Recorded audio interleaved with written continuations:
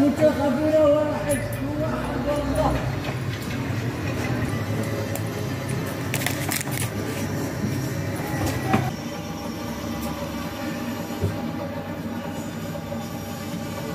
سلام كبيداتي خوتي خواتاتي احباتي في الله نتمنى تكونوا بخير وعلى خير بالف صحه وسلامه نتمنى لكم التوفيق والهنا وراحة البال كنشكر كل من كيتواصل معايا كيسولوا فيا. متتبعي وأحلى متتبعين لقناتي عائشة فلوق كيف شفتوا من دابا شوية؟ أنا تقاسمت معكم محل عطاره الأندلس اللي دائما كنتردد عليه باش ناخذ المنسمات والمنكهات ديال المطبخ. ما شاء الله على محل رائع فيه كل ما تشتهي المرأة باش تنسم الطعام والأكلات والطبخات وراك عارفين ما شاء الله على الطبخ يعني بشتى أنواعه. آه كنصحكم باش تاخدوا الصماق ونبتة الصماق والدكتور الفايد تحية للدكتور الفايد اللي كيتكلم على آه الأعشاب وعلى النباتات وعلى المنكهات اللي آه يعني غنية غنية جدا ومفيدة للجسم والذات. أه حبوباتي أحبتي غادي نتقاسم معكم هنايا طريقة تنظيف الدجاج. وراني حيدت الصوت الأصلي لأن بوستيت la vidéo من بعد ما تعبت في المونتاج ولقيت بأن كاين أه ما عرفتش واش كان خدام قرآن أو موسيقى. مهم ما عرفتش أشنو المانع أه عندي حقوق الطبع. أه غالب الأحيان كنكونوا مخدمين القرآن الكريم في جهاز التلفاز. أو ربما كان شي حد حامل الهاتف وكان شي حاجة اللي منعت ليا. أنا ما عرفتش بالضبط أشنو هو المانع ولكن تعبكم راحه المهم أنا عاودت لا فيديو. الطريقة ديال تنظيف الدجاج كنديروه بالدقيق الأبيض كما نصحتني واحد الأخت من قبل ملي كنت كنشتغل. الدقيق الأبيض وكنخلطوا معاه الزنجبيل مطحون. وكنديروا شوية ديال البصلة محكوكة والثوم والمهم والخل. ومن بعد كنديروا الليمون اللي هو الحامض. آه دابا غادي نحضروا واحد المراق كيف كتشوفوا الدجاج راه منظف مزيان نظفت المطبخ. كنحيدوا كاع دوك البقايا وداك ال... باش ما تبقاش ديك الرائحة ديال الدجاج. كلشي كيتنظف كلشي كيتجمع. داكشي اللي جبت من السويقة كيف شفتوا راه اللي كتستحق تدخل المجمد راه كتمشي للثلاجه اللي كتغسل. بحال الخوص والمهم أشياء راكم غادي تشوفوها معايا. آه مرق الدجاج غادي نحضروه بالدجاج بالطبع وكاين مرق الخضار ومرق اللحم. المهم كناخدو سواء عظيمات الدجاج إلا كنا استعملنا آه مثلا بروشيت بالصدر وكيبقى لينا دوك العظام كنستعملوهم. دابا غادي ناخدو شوية من الدجاج على قد القياس ديالنا كيف كتشوفوا وغادي نحطوه في الطنجرة. غنزيدو عليه المنكهات اللي مشينا جبنا بعض منها من عطاره الأندلس. كيف غتشوفوا معايا دابا؟ أنا غادي نسرد عليكم جميع التوابل والمنسمات من أعشاب يابسة. أشياء كثيره الحمد لله اللي كيزخر بها الطبخ والمطبخ العربي بصفة عامة. ما غاديش نقولوا غير المغربي ولكن العربي لأن غادي نستعملوا واحد الأكلة اللي كتتميز بها الطبخ أو المطبخ ديال الشرق الأوسط اللي هو البرغل الناعم. هنا راه كنتكلم لكم على دوك الطاسات اللي فيهم دقيق الحمراء وفيهم دقيق الخرطال. استعملته مع الصباح إن شاء الله مرة أخرى غنشاركهم معكم اللي فيهم زريعة الكتان والخرطال والنافع.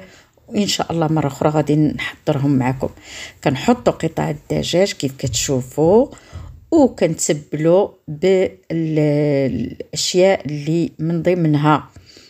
غادي نسرد عليكم بالترتيب. البصل مشلض وضريسات ديال الثومه كنحيدو لهم ديك النواه اللي ما كتهضمش وكنحكوهم اليازير يابس كنجيبو من الجرده ديال واحد خالي الله يخليه ليا. وشوية ديال الزعتر يابس والتحميره piment doux اللي fumé كنديرو الكاري آه مدقوق آه بودرة وكنديرو الثوم بودرة وكنديرو آه الزنجبيل حتى هو مطحون بودر وكنديرو القزبر مطحون.